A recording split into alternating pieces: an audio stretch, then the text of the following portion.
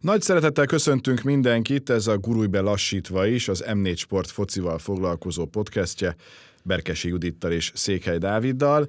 Továbbra sincs Hajdúbe István, most már azt hiszem, hogy minden sportszerető olvasta, hogy mi a helyzet vele kapcsolatban. Nem szabad mindent elhinni, várjuk vissza Pistit, és ezzel a magunk részéről be is fejezzük, hiszen tiszteletben tartjuk azt, hogy a lehető leginkább tudjon arra koncentrálni, hogy visszatérhessen közénk, és nagyon-nagyon várjuk. És vártuk ezt a hetet is, mert hogy sok minden történt hét közben a labdarúgás világában, és aztán jövő héten meg még több minden történik, de kezdjük szerintem a kupával.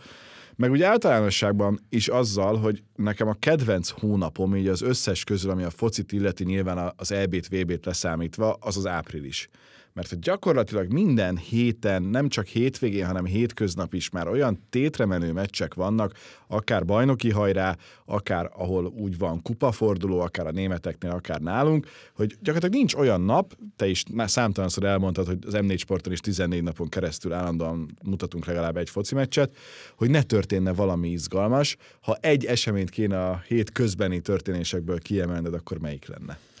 Alapvetően a kupa műfaját én nagyon szeretem, és mindig, amikor jön a következő kör, akkor föltesszük a kérdést, hogy az adott csapat hogy áll hozzá, mennyiben számít prioritásnak, létezik-e olyan, hogy elengedi egy együttes, életemben nem hallottam olyan nyilatkozatot még edzőtől, hogy nem veszi olyan komolyan, és majd most itt egy picit rotál meg pihentet a következő bajnoki mérkőzésre, de szoktuk látni azért a kezdőket. És akkor most induljunk ki például a Kisvárdából, hiszen velük kapcsolatban volt kérdés, hogy nagyon küzdenének az első osztályú tagság megőrzésért akkor mondhatnád, hogy a kupát lehet, hogy egy picit elengedi egy csapat. De most már ugye egyre távolodik az NB1-től a Kisvárda, innentől kezdve kicserélte a teljes kezdőt Feckó Tamás, és kilenc játékossal gyakorlatilag le tudta győzni az MT-ket. Volt benne csavar több is ezen a mérkőzésen, és látszott egyfajta felszabadultság, ami nincs jelen az elmúlt hetekben a bajnokságban. Itt van egy csapat. De beszélhetünk a Ferencvárosról is, amely gyakorlatilag mindig minden fronton nyerni akar, és úgy lép pályára, vagy éppen ott van a Paks és az MB2-es csapatoknak megint mindig extra motiváció egy kupa szereplés, azt gondolom. Tehát én mindig ezért várom a kupakört különös szemüveggen keresztül nézve, mert, mert ennek egészen más története van, mint a bajnokságnak. Sőt, ahogy itt most soroltad, szerintem több olyan csapat volt, amelyik a bajnokságot kvázi engedte el kicsit jobban, mint a, mint a kupát, mert a, a Várdán érezhető volt, hogy erre a mérkőzésre koncentráltak. Ha megnézzük a Ferencváros összeállítását a hétvégi bajnokin, meg a, a hétközi Diósgyőr elleni kupa mérkőzésen, nekem meggyőződésem, hogy a hétközi az egy, az egy erősebb Ferencváros volt. Úgyhogy ebből a szempontból lehet mondani, hogy, hogy a sakk az, az nagyon sok esetben éppen fordítva működött, hiszen azért a Ferencváros, főleg, hogyha és ezzel majd foglalkozunk, a hétvégén legyőzi a Paksot, akkor gyakorlatilag megvédte a címét az OTP Bankligában. A Paks az érdekes volt, mert ott azért maradtak hárman a kezdőből, de ahogy Bognár György fogalmazott, igazából nagyon nagy különbség nincs a játékosok képessége között, úgyhogy most megmutathatták, hogy mit tudnak. Hozzáteszem, szerintem azért nem nyújtottak olyan teljesítményt, nem véletlenül kellettek a cserék, hogy, hogy olyan nagyon bebizonyítsák azt, hogy hétvégén nekik újra játszaniuk kell a Fradi ellen, mert amikor azért Vindekerék beálltak, máshogy nézett ki ez a csapat. Hát igen, és gyakorlatilag hosszabbításra mentette a Paks van. ezt a mérkőzést, aztán ott döntött el. Ami egyébként megmutatta, hogy a Paks igazán összeszedi magát, akkor szerintem ez egy jóval simább mérkőzés lett volna, úgyhogy most plusz 30 percet még ráhúzott a csapat, de ennek olyan nagyon nagy jelentősége nincsen, mert meggyőződés, hogy megint hetet fog változtatni kb. Bognár György a hétvégén, sőt, még kapus pozícióval együtt, mert szerintem Szappanos is visszakerül, lehet még több lesz, de, de ott a Paks, azért az, hogy most négyben van három évben belül kétszer, az mutatja, hogy a bajnoki eredmény az nem a véletlen műve, hanem itt igenis arról van szó, hogy ez a Paks az jelen pillanatban Magyarország egyik meghatározó együttese, még akkor is, hogyha megküzdött a, a Vasassal szemben. És ebben tényleg az az érdekes, amit mondasz, és ezt nem csak a kupa versus bajnoki mérkőzéseken látjuk, hanem két bajnokihoz képest is, hogy bátran rotál. Tehát a koncepció az adott, és Igen. ha három-négy csere van a kezdőben, az akkor is működik, méghozzá nagyon olajozottan. Azt hiszem, hogy ez az egyik legnagyobb ereje a paksnak, hogy ez látszódik, akárki van a pályán, hogy mit szeretne játszani. Igen, mondjuk most azért, ha a 90 perceket nézzük, akkor a paks négyből egyet sem nyert.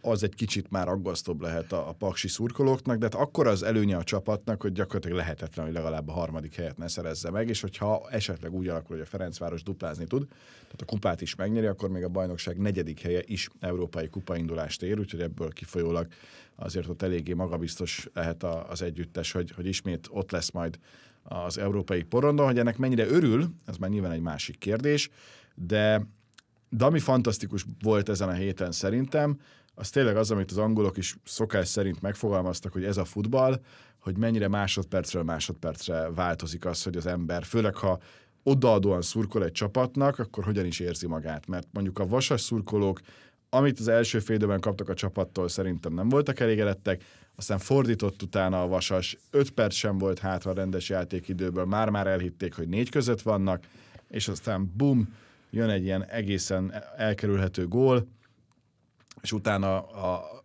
hosszabbítás elején kapnak még egyet, de ott még van esély, de nem megy be, és a vége egy sima három gólos vereség, hogyha így nézzük, és a másik ilyen az meg nyilván a Manchester United és a Chelsea összecsapása, ahol a Chelsea 20 perc után már 2-0, rárughatta volna a harmadikat, de aztán az egyik legdrágább játékos a Caicedo, aki egyébként egy remek labdarúgó, eladta a labdát 2-1, tuti volt, hogy jön még egy gól, 2-2, második fél, 2-3, vége mindennek, és aztán utána 8 perc hosszabbítás legvégén jön az, hogy akkor 11-es, vitatni lehet, hogy az most valóban az volt, vagy sem, Palmer berúgja 3-3, és aztán még van két perc, és az edző is azt mondja, hogy van még két perc, eljutnak egy szögletig, nem figyel a United védelme, és 4-3, és akkor most fú, hirtelen a Chelsea nagyon jó csapat lett, és most megindul, és majd még akár a, az Európa Liga is meg lehet. Tehát, hogy, hogy annyira jó, hogy ezeket a végleteket? Ezeket a végleteket úgy, hogy nekem azt egy mérkőzésen belül egyik csapathoz sincsen, de például egy csapat. Chelsea szurkoló barátommal néztem tegnap a,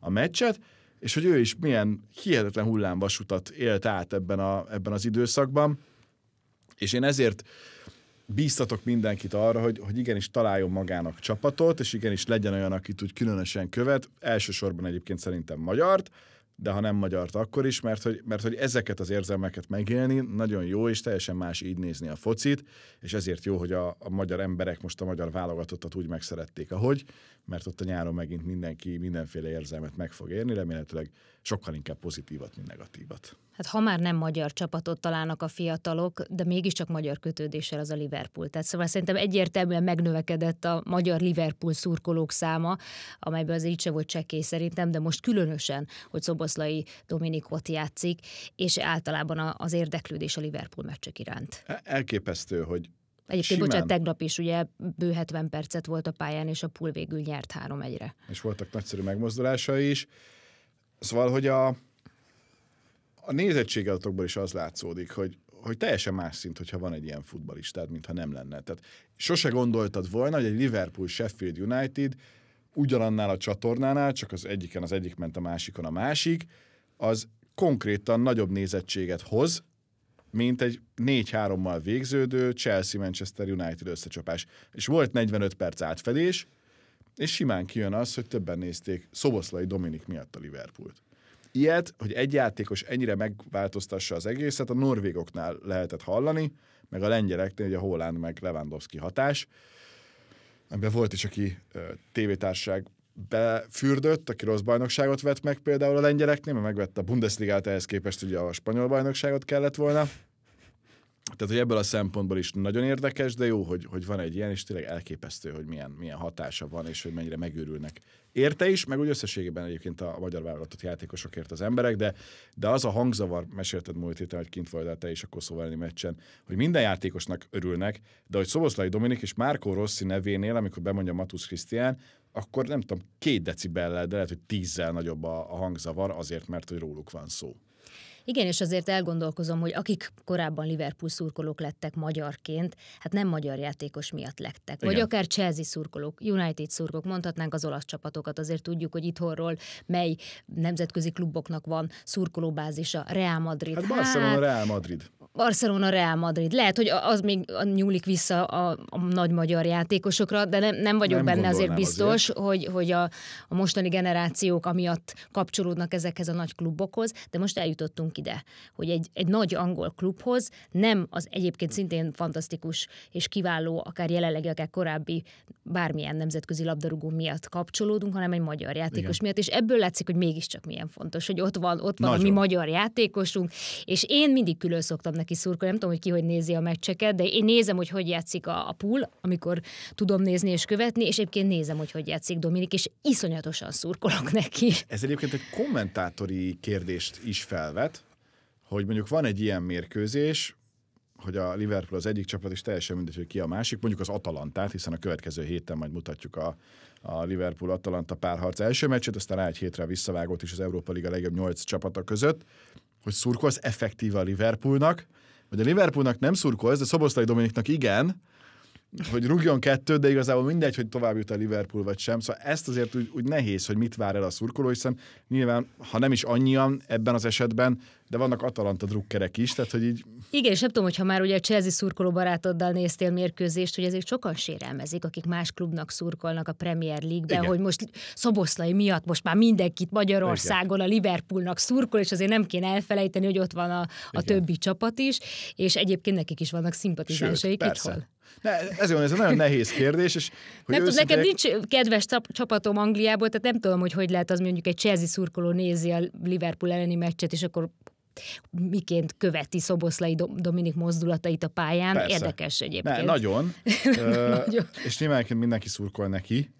Csak nem, ezt majd egyszer megkérdezem, mert ez még soha nem jött így elő, hogy ha mondjuk a Chelsea ellen vagy, Ugye? vagy csomó United szurkoló van, a United ellen Szoboszlai Dominik rúgja a gólt, akkor az milyen reakciót vált ki az emberből? Nyilván, mondjuk 4-2-nél van, akkor mindegy, de ha mondjuk azzal lesz 3-2 a poolnak, akkor azért ez egy kicsit más, más történet, de, de nagyon jó ezt meg, megélni, és tényleg abban reménykedünk, hogy még több olyan játékosunk lesz, aki idővel ezen a szinten tud majd futballozni. A Kerkezminosról is írták, hogy a nagyobb csapatok figyelik.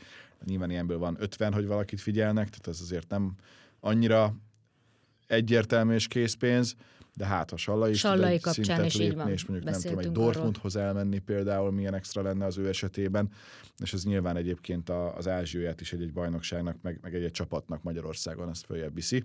Úgyhogy Úgyhogy izgalmas lesz, hát hétvégén ott is lesz egy komoly összecsapás, hiszen a Unitedhez látogat a Liverpool, és milyen érdekes, hogy azért próbálunk ezzel is a magyar szurkoló barátoknak úgy kedvezni, hogy a meccsbeosztást nagyjából úgy készítettük el, hogy a Paks Ferencváros elleni összecsapását meg tudjuk nézni. A második fél időben meg bele. Nagyon kevés, ami átfedés van. Kevés úgyhogy, átfedéssel. Úgyhogy, úgyhogy még ezt is próbáljuk. Nem mondom, hogy mindig, de itt most erre is figyelemmel voltunk, mert mert látjuk egész egyszerűen, és nekünk az az érdekünk, hogy a futballszurkolók a lehető legtöbb jó meccset, ami igazán érdekli őket, meg tudják itt-ott ott nézni. Egy picit visszatérünk a kupára? Persze. Csak azért, mert például a Nyíregyháza nem került szóba. Én azért vártam még az ő mérkőzésüket a, a Kecskemét ellen. Egyébként egy párhuzamosan néztem a pool meccsel, mert, mert ugye azért az MB1-be tartó csapatot láttunk egy, egy MB1-es középcsapat ellen, tehát ugye a Nyíregyháza versus Kecskemét, és hogy mire képes, tényleg hol tart. Ugye ez mindig örök kérdés, hogy az MB2 után mire képes egy csapat az első osztályban. Tudom, egy meccs, kupa meccs volt, ebből még azért nem feltétlenül lehet messze menő következtetést levonni, de látni lehet valószínűleg egy jövőbeni MB1-es együttest, és történelmet írt azzal ugye, hogy itt van a kupa elődöntőjében. Le a kalappal Timár Krisztián munkája előtt, Ugye ott volt Győrben, kapott egy feladatot, a hírek szerint, aminek a végén, amikor azt a feladatot teljesítette, feltették a kérdést, hogy de miért nem vezeti a csapat a tabellát. Majd meg is köszönték neki a munkát. Ugye előtte utánpótlás válogatott edzőként nagyon közel volt ahhoz, hogy kontinens bajnokságra is kivezesse az U19-es csapatot. Szusza Ferenc stadionban a, a hajrában kapott egy gólt a csapat, amivel nem lett meg. Tehát, hogy ő azért valóban egy olyan edzői karriert jár be jelen pillanatban, ami, ami nagyon ígéretes, és, és szerintem ez a Nyíregyház, ez nem csak ez alapján a meccs alapján, hanem az egész szezon alapján kifejezetten jól teljesít, jól néz ki, hogy játszik, ráadásul az érezhető, hogy egy nagyon tudatos koncepció van ott, fél MTK ott van, azt azért hozzátenném, tehát hogy az a csapat, amelyikkel pár éve még, még Bichel Boris egész jól teljesített sokáig, aztán a középmezőnyben zárt, de, de Igen, aztán sok-sok ismerős név az NB1-ből korábbról. Ott azért nem mondom, hogy egy második Paksa Nyíregyháza, de, de egy picit ugyanazt lehet ott is érezni, hogy, hogy tényleg a, a, a magyar játékosok egy része, akik ilyen vagy olyanokból kifolyólag nem tudtak az NB1-ben maradni, azok itt az NB2-ben megkapták a lehetőséget, és ezzel a lehetőséggel maximálisan élnek is. Azért nagyon komoly előnye van a Nyíregyházának, tehát ráadásul a Vasast például fogadja is, és ugye a kettő üldözőből egy még meg is előzhetné, ami mindig egy, egy igencsak jó előrejelzés, és azt se felejtsük el, hogy ez a csapat ez folyamatosan idegenben kell, hogy játszon, mert a Balmazújvárosi pályát kell használni, a sajátja az most épül, de ugye mindig azt szoktuk meg, hogy átadtak egy stadiont, és annak a csapatnak nem sikerül a szezon végén bent maradni, amelyiknek lett új otthona.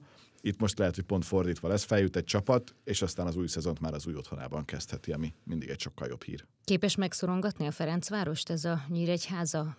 Na Ugye, ott nem tudom, hogy melyik lesz a súlypontos. Tehát, hogy az, hogy, hogy ott azért a bajnokságban, azt hiszem pont a Vasas, igen, a Vasas ellen játszik előtte, most még nem tudjuk, hogy melyik napon, de hamarosan majd az is meg lesz, hogy, hogy, hogy mennyire a Vasasra, meg aztán az Ajkára figyelsz, és a kettő között a Fradira, lehet, hogy okosabb lenne a, a bajnokságra figyelni, de nekem meggyőződésem, hogyha fogadod a Fradit azért, hogy a puskásban játsz, akkor azért bármi lehet. Én nem érzem, hogy az egy nagyon sima meccs lenne, de az első gólig. Az a kérdés, hogy az az első gól az mikor születik. Mert hogy mennyi esélyt látsz arra, hogy megint összejön a két évvel ezelőtti kupa döntő. Hát ha fogadnom kéne, erre fogadni. Valószínűleg ennek a legkisebb az otca. Biztos, hát persze. A Paks otthon játszik a Várda ellen, először ebben a szezonban kupameccsen otthon van, a, a Várda azért idegenben nem tudom, és a, a Paks is olyan, hogy azért koncentrálhat a kupára inkább és én a Paks helyében inkább arra koncentrálnék. Tehát azért még egyszer megpróbálni a puskásban, hát ha most szorosabb meccs lesz, jobban sikerül, meglátjuk. Nagy sztori lenne egyébként egy, egy újabb Fradi Paksa kupában, és, és én abban bízom, hogy, hogy megint a 40 ezres, akár még nagy, mag, nagyobb, magasabb nézőszám az össze is jön, ha, ha úgy alakul, mert, mert van egy nagyon jó út ebből a szempontból, hogy, hogy a puskásban most már azért kevés néző előtt nem rendeznek meg mérkőzést, legyen szó bármelyikről, nyilván jegyár, meg hát azt kell, hogy azért olyan csapatok jussanak be, nyilván nem megbántva, lehet, hogy egy, Nyíregyháza Kisvárdát több értelme lenne Debrecenben megrendezni, mint a, Paplá, a Puskás arénában, de nyilván a Puskásban kell megrendezni, mert ezek a csapatok ezért is küzdenek, de, de, de azért meglepne, ha ez nem egy Fradi Paks lenne. Bajnokságra kanyarodjunk rá egy Szerintem picit. arra lehet. Hát, ha már azelőtt biztos, hogy találkozik egymással a Fradi és a Paks, csak most a Grupam arénában a hétvégén. De azért most már öt pontos előnyből, ahogy te említetted, a Ferencváros győzelmével, és akkor utána még van egy pótolt mérkőzés Hát, is. Fradi néhány, néhány nap alatt eldöntheti a bajnoki aranyérem sorsát. Nem egy héten belül? Többé-kevésbé. Vesztett pontokat tekintve 8, és akkor még jön ez a kiki meccs, ha azt a Ferencváros megnyeri, akkor 11. Onnan azért már ennyivel a vége előtt nincs nagyon visszaút, tehát még azt sem tartom igazán reálisnak, hogy a Paksnak legyen annyi pontja, mint mondjuk a Fradinak jövő szerda este lesz a szezon legvégén. Aztán persze meglátjuk, ez most inkább csak egy elméleti okoskodás, de, de igen, most eldől ebben az április elejé időszakban az, hogy, hogy ki lesz a bajnok szerintem. Eh, ahhoz nagyon sokat kéne javulni a, a Paksnak, ne felejtsük, hogy nagyon-nagyon élvezetes, látványos meccs volt egyébként a, a két csapat őszi találkozója a grupamában. Óriási volt a különbség, de hogyha picit a számokat megnézzük, akkor azért a Paksnak is voltak helyzetei, csak nem rúgta be azokat a lehetőségeket, a Fradinak pedig gyakorlatilag minden összejött. Hát nyilván Varga Barnabás miatt is izgalmas ez, a, ez az összecsapás. Tehát egy csomó jó sztori van, amit a TV történeti 90 perces felvezető Na, de várj, ez egy műsorban sima győzelem lett, sima Ferencváros. nagyon sima győzelem lett. 6 6-1, de, igen. de igen. ehhez képest, hogyha Tényleg? a- E- Ehhez képest mondod ezeket a számokat? Tehát a gólon kívül nem volt akkora különbség? Mondjuk ez... Nem volt olyan sok. Aha. Nem volt olyan sok, ezt nyilván vasárnapra ki is keressük, de hogy, de hogy, de sőt, még most ki fogom neked keresni menet közben, de az egészen biztos, hogy, hogy a, a Fradi ott nagyon jól játszott, az XG remek volt, de a Paksnak is nagyon-nagyon jó XG-je volt, és pont ebből kifolyólag szerintem ez lehet egy jó meccs, és hát nyilván ebben mindig van egy motiváció, már csak azért is, mert hogy annak idején szerették volna mm, sokan még inkább felfújni a nyilatkozatokat, amik voltak a különböző orgánumokban. Szerintem ezt annyira nem kellett felfújni, de a lényeg az, hogy itt azért a, a Paks és a Ferencváros az annyira más oldalról közelíti meg a futballt, hogy emiatt ez mindig egy nagyon pikáns összecsapás. Igen, mert a Ferencváros ambíciói egyértelműek. Évek óta itthon. Azért nekem az a kérdés, hogy mi a Paks ambíciója. Hogy mennyire ambicionálja a, a bajnoki címet, tényleg érzékelve és tapasztalva, hogy hogy ment az együttesnek, még akkor is, hogyha említetted, azért az elmúlt hetekben nem jöttek annyira az eredmények, de szerinted a Paks az egész bajnokságot, tehát hogy áll hozzá a Ferencvároshoz képest? Össze lehet egyáltalán így hasonlítani a két csapatot, klubot, a játékosokat? Szerintem nem. A Fradinak nemzetközi szinten is nagyon komoly ambíciói vannak, a Paksnak nem. A Paksnak az az alap, hogy biztosan maradjon bent, és valahol a felsőházban végezzen, a másodiktól a hatodik helyen, de hogyha esetleg nyolcadik, akkor sem dől a kardjába. Ezt pedig egy jóval kisebb költségvetéssel, egy erre a szezonra speciál pontváltozó taktikával és hozzáállással, de, de el tudta érni. Kikerestem XG-t, nem tudok, de 19-14 volt a lövések száma, és a kaput eltalált kísérleteknél a Paksnak egyel többje volt, 9-8. Az igen. Úgy lett 6 És abból lett 1-6 paksi igen. szempontból. Igen, és szerintem még kapufákat is rugott a, a, a Paks, hogy így nézegettem, tehát hogy, hogy azért ez nem volt egy sima meccs. Szerintem szóval a Paks az, és ez, ez jó esély azért Bognár Györgynek is az érdeme, nem stresszeli túl ezeket a meccseket, és ez érződik a legjobban, hogy van egy csomó csapat, nekem legalábbis ez a benyomásom, aztán lehet, hogy ez nincs így, amelyik mindenen picit túl, túl feszülten gondolkodik és agyal, én ezt a paksnál nem, nem érzem. Tehát, hogy ott jó van, megyünk, csináljuk, aztán lesz, ahogy lesz. És kikapunk háromszor, és nem remegnek meg, mert akkor majd legközelebb nyerünk. És, és tényleg nagyjából ezért. Hát de ezzel vezették a tabellát Igen. elég sokáig. Ez nagyon érdekes. Persze. Hogy végül azzal, hogy nincs teher, Igen. vagy nincs ez a fajta ráfeszülés, de közben meg mégis van ambíció, tehát én nem gondolom azt, hogy ez azt jelenteni, hogy, hogy az egész úgy van, na menjünk, aztán futballozzunk csak. Szerintem nincs olyan ember, aki ambíció nélkül menne le focizni, és ez most lehet a, a céges foci, meg lehet az NB1 is. Nincs olyan, hogy ne legyen ambíciód, mert, mert egyszerűen szereted ezt a sportot, és, és mindig nyerni akarsz. Úgyhogy nem, nem gondolom, nekem, nekem mind a kettő nagyon érdekes, és én nagyon várom ezt az összecsapást. Tenapi hír, hogy 3000 jegy maradt még, tehát nagyon-nagyon jó hangulat is lesz, ami külön, külön extra, hogy vasárnap délután egy ilyen program is jön az ember életében. Remélhetőleg a tévében is majd jó sokan megnézik.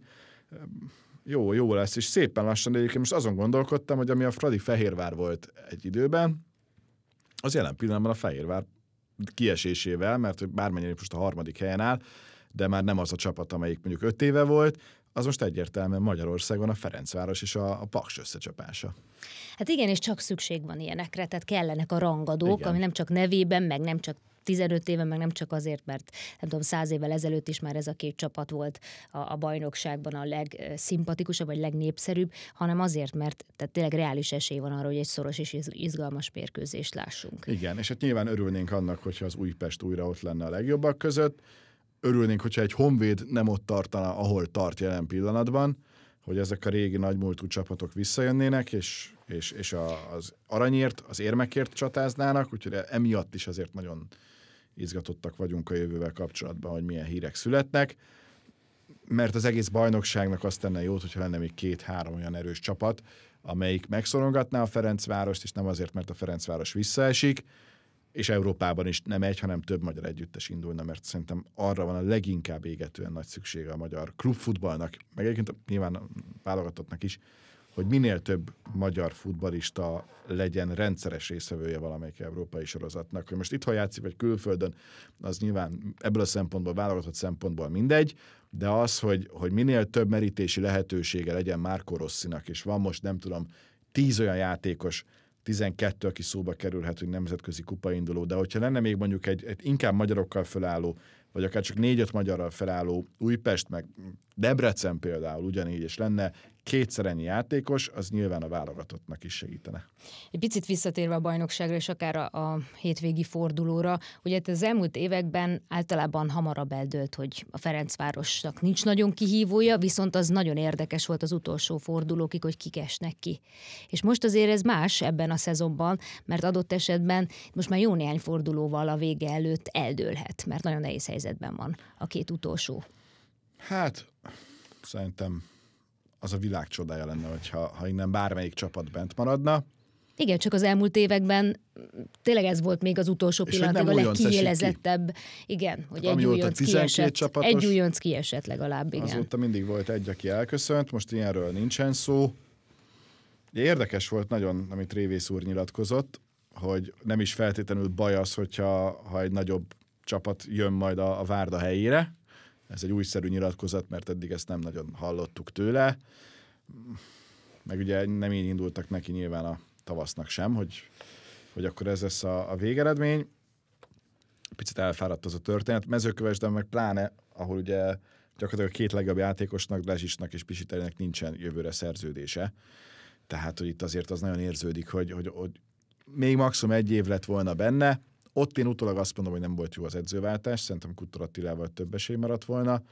A DVT, a Kisvárdánál ott ott meg érdekes, mert az eredmények alapján már megint váltani kellett volna, de nem váltanak, és ez is egy picit szerintem azt mutatja, hogy inkább beletörődtek abba, hogy akkor ez így alakul. Hozzáteszem, Ugye a Vigen volt pár éve, amelyik a City-t verve az FA kupa döntőjében megnyerte az angol kupát, de kiesett a bajnokságból a Premier League-ből ott még nagyobb volt a harca a hajrában a mentmaradásért, de nem sikerült még, még Mártinezékkel, úgyhogy Úgyhogy ez most érdekes, hogy ennyire sima, gyakorlatilag ott tartunk, ugye mindig van ez a nagy matek, hogy az utolsó fordulóban az azonos célért küzdő csapatoknak egy időben kell játszani. Itt, itt mind a hat meccs gyakorlatilag teljesen másik időpontban is lehet. Az egyetlen az tényleg ez a harmadik, negyedik hely, ami reálisan most még izgalmasnak tűnik, főleg, hogyha a kupa ugyanazé, aki a bajnoki címet szerzi, ez ugye esetünkben reálisan két csapat lehet, a Ferencváros meg a Paks, mert így a negyedik hely is még európai indulást ér, és, és ott még azért lehetnek izgalmak, mert azt szerintem most lehetetlen megmondani, hogy a végén kiír oda, bár nyilván a Fehérvárnak is van egy viszonylag komolyabb előnye, úgyhogy, ez még a negyedik helyre meg gyakorlatilag a tizediktől mindenki odaérhet. Tehát az az egy, ami, ami még Ami nem, nem változott egyébként az előző évekhez Igen. képest. Hogy pár jó mérkőzéssel ott lehetsz a dobogó közelében legalábbis, pár rossz mérkőzéssel viszont alul, hanem is az utolsó két helyen ebben a bajnokságban. Viszont azt már nem tudom, hogy minden csapat örül-e annak, hogyha el kell utazni, nem tudom, Azerbajdzsánba adott esetben, ha az Európa konferenciáig a második körében. Tehát hogy ez, egy, ez egy jó kérdés, hogy van olyan, aki azt mondja, hogy nem feltétlenül baj, ha idén nem, mert Akkor inkább azt mondja, hogy ki igen, vagy melyik csapat igen, a Ferencvároson kívül. Ki tudunk ilyet jelenteni? Én azt gondolom, hogy gyakorlatilag a mindegyik csapat ilyen ez. Tehát, hogy, hogy, hogy nem gondolnám, hogy a Paks szomorú lenne azért, mert nemzetközi kupában kell játszania. Hát én is ezt gondolnám. Szerintem egy Újpestnek például lehet, hogy jobbat tenne, hogyha nem, de de, de ugyanakkor meg emlékszem a Sevilla elleni párharcra, ott a hazai meccsnek is annyira jó hangulata volt, és azért az újpest szurkolók nagyon megérdemelnék azt, hogy, hogy ennyi szenvedés után legyen egy európai. De most ott tartunk, hogy a Debrecen ugye negyedik 39 ponttal, az Újpest meg 9. 34-jel, 5 pont, úgyhogy még ennyi forduló van hátra, hogyha az Újpest olyan formában játszik, mint az elmúlt időszakban, és mondjuk nyer a következő mérkőzésén is, amire olyan nagyon sokat már nem kell várnunk, hazai pályán az ETE ellen, akkor, akkor onnantól kezdve bármi benne van a, a pakliban. Úgyhogy, úgyhogy nem tudom, hogy van-e olyan, rövidebben válaszolom, nincs olyan csapat, amelyik ne akarna, olyan van, amelyik annyira azért nem bánja, hogyha ha, ha nincs meg, inkább úgy fogalmazom, hogy, hogy ha Én csak azért kérdezem, bocsánat, mert a Fradinál egyértelmű a nemzetközi ambíció, viszont a többi klubnál mindig bizonytalanok vagyunk. Vajon miért? Ebben, hogy milyen is egyáltalán ez a nemzetközi vágy. Azért, mert mert ugye a Fradinak az elmúlt évek kiváló szereplése okán, meg hogy a bajnoki címet szerzi meg általában, ugye az elmúlt öt évben mindig, teljesen reális a nemzetközi kupaindulás a főtáblán is ha az most el kell, el kell, de akkor is. A többinek irreális elvárás jelenleg az, hogy bejusson valamelyik kupasorozat főtáblájára. Ugye a Fehérvár volt még egyszer közel hozzá, Igen. amikor német ellenfelével szemben az első mérkőzésen még kiválóan teljesített, aztán itthon kijött a különbség. De a többinek egyszer annyira alacsony a koeficiense, hogy fixen nehéz ellenfelet kap, és onnantól kezdve meg gyakorlatilag nem lehet elvárni, hogy te nem tudom, adott esetben egy, egy, egy török, egy belga, egy görög csapattal szemben, most mondtam három országot, meg tud oldani az oda-visszavágós párharcot.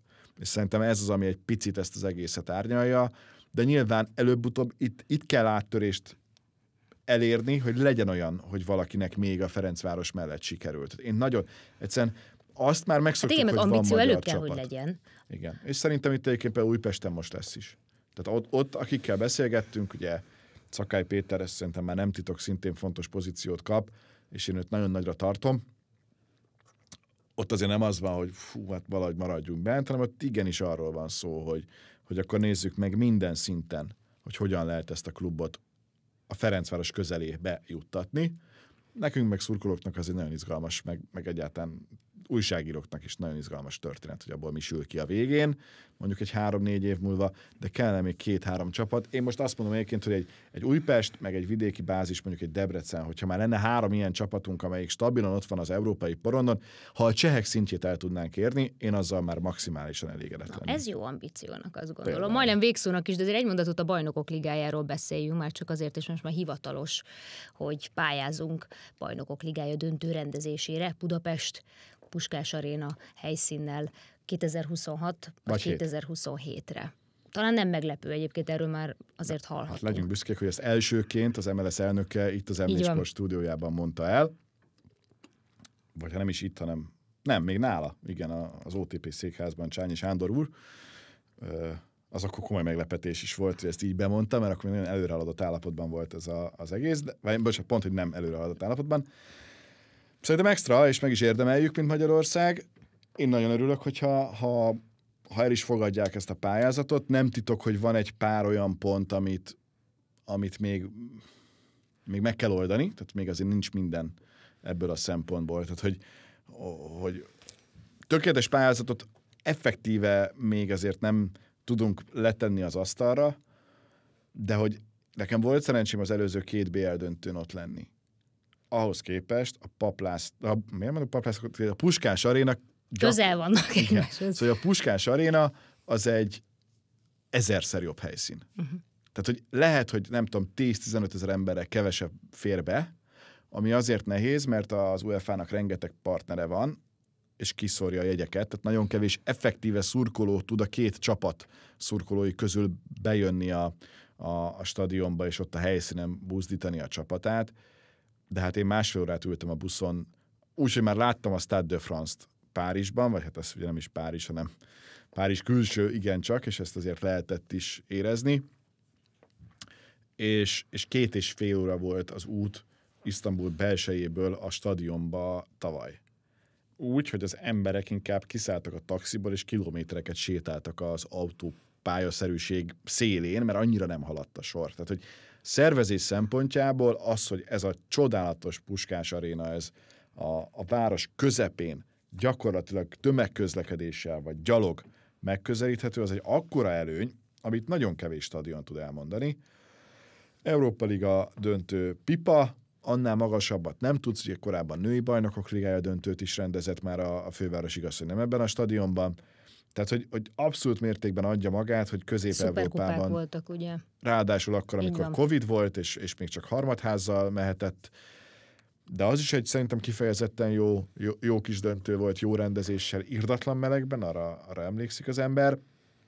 Tehát, hogy szerintem az egy, az egy abszolút minden szempontból jogos dolog, hogy mi kapjunk egy BL döntőt, de még tudom, hogy egy pár dolgon azért munkálkodni kell, hogy, hogy meglegyen, de nyilván meg lesz. Tehát nem gondolnám, hogy, hogy nem lenne meg, megvan most már a kormányzati támogatás is, úgyhogy ennek megfelelően lehet készülni, de ha már itt tartunk, azért ne felejtsük el, hogy jövő héten mi két nem akármilyen BL negyed döntőt mutatunk, mert egyik nap van azért a előrehozott döntő, ki tudja Real Manchester City, másnap pedig egy, egy Paris Saint-Germain Barcelona mérkőzés, és ezért azért az sem hangzik túlságosan rosszul. Nem, nem bocsátkoznék jóslatokba, egyébként sem vagyok jó ebben, de én, lehet, hogy megint ilyen egyéni villanások, meg Real faktor, vagy mostan Pep Guardiola faktor, ilyenek fognak dönteni, vagy inkább a második mérkőzések. Leginkább, hát, erre, igen, gond, ugye... leginkább erre gondolnék, hogy nem itt fognak az első összecsapáson összedőlni, vagy eldőlni ezek a párharcok. Igen, izgalmas, hogy így, hogy két meccs van, én főleg, hogyha lesz liga rendszer, elgondolkodnék az, hogy egy meccs döntsön, és aki jobban teljesít a liga szakaszban, az legyen otthon, mert szerintem ez az NFL-ben nagyszerűen működik, de, de nyilván így meg több meccs van, jobban ki lehet szedni a, a pénzt a szponzorok szempontjából, reklámfelület és a többi, és a többi tévétársaságoknak is több meccs jut. Szóval ez ebből a szempontból még egy nagyon izgalmas történet, de egy biztos, hogy ezeket a meccseket meg kell nézni az M4 sporton, mert igencsak jónak ígérkeznek előzetesen. És ezekről is fogunk beszélni egy hét múlva. Köszönjük szépen a figyelmet, én innen is jobbulást kívánok Hajdubé Pistinek, várjuk őt is vissza. Köszönjük szépen!